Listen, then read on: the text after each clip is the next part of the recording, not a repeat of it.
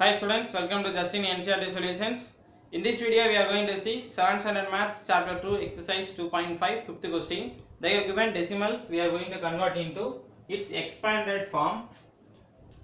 First question 20.03 is equal to 20 plus 1's place 0 plus 0 divided by 10 plus 3 divided by 100 100th place is equal to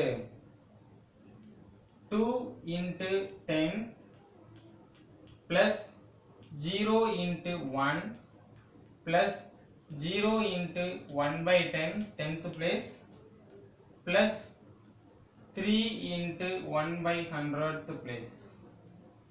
This is the decimal, decimal expansion for the given value 20.03 and second Roman letter 2.03 is equal to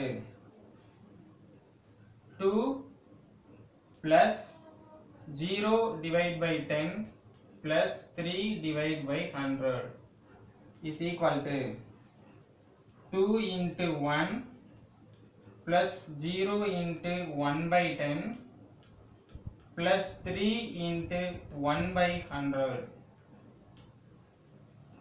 So this is the required decimal expansion for 2.03 and third question 200.03 is equal to 200. Hundreds place is 200 tens place 0 ones place 0, 10th place 0, 100th place 3. So 200 plus 0 plus 0 plus 10th place 0 by 10 plus 100th place 3 by 100 equal to 2 into 100 plus 0 into 10 plus 0 into 1 plus 0 into 1 by 10 plus 3 into 1 by 100. So this is the decimal expansion for given number 200.03 and now fourth question 2.034 is equal to 2 plus